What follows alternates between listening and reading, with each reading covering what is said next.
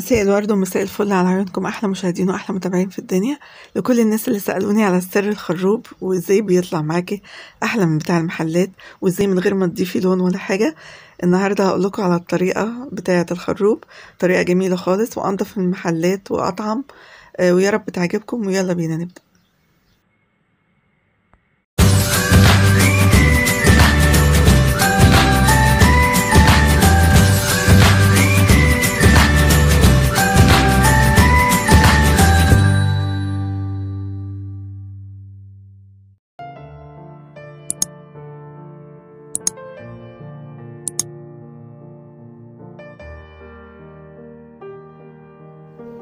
في البداية هنسمي ونصلي على الرسول وبعدين هنجيب حلة على النار هنضيف ليها كمية الخروب وكمية السكر.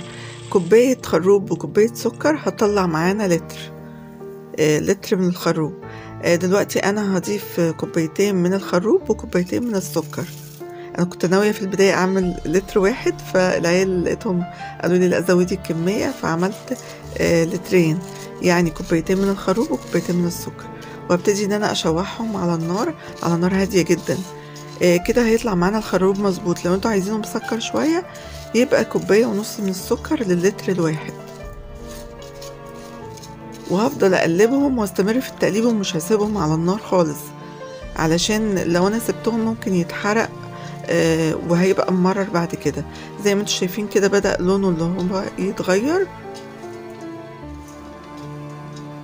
وأهم حاجة إن أنا أستمر في التقليب وما سيبوش زي ما قلت لكم خالص.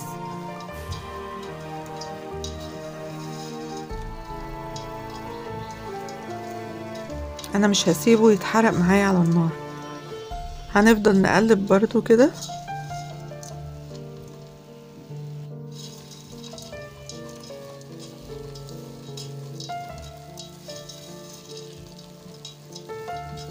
لحد ما نوصل للدرجة اللي هتشوفوها معايا دلوقتي. عايزة أقول لكم مفيش حد ده الخروب بالطريقة بتاعتي إلا وسأل واستفسر عاملاه إزاي إيه الطريقة لازم تقولنا على السر. بيطلع طعمه حلو جدا. فأنا حبيت أنزل الفيديو عشان كل الناس اللي سألتني وكل قرايبي وحبايبي وأصدقائي الخروب بتعمليه إزاي؟ فهنقول لكم على السر فيه.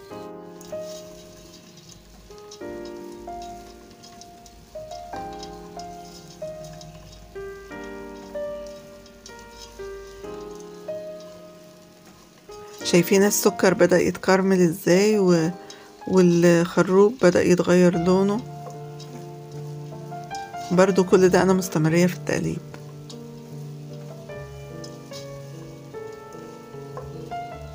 ومش معلية النار. بص الدرجة اللي وصلت لها ما تحرقش معايا وهبتدي أضيف لترين من المية أنا زي ما قلت لكم استخدمت كوبايتين من الخروب معاهم كوبايتين من السكر بيعادل لترين من المية. فهضيف المية.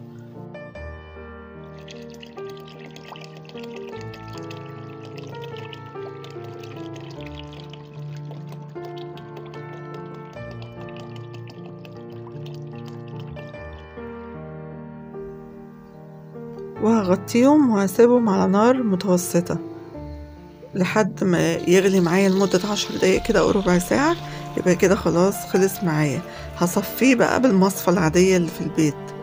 مش هحتاج شاش ولا حاجة لأن ده مش مش بودر. هصفيه وه... ولما يبرد هعبيه زي ما أنتوا شايفين كده.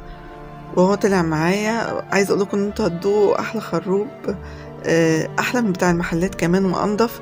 وفي المحلات بيضيفوا له لون طبعا عشان يديله اللون الغامق. إحنا عملناه من غير لون ولا أي حاجة. ويا رب يعجبكم. ورمضان دايما يجمعنا وكل سنة وأنتم طيبين.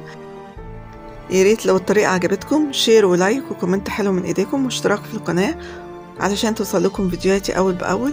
وشكرا لكم دمتم في حفظ الله بحبكم في الله.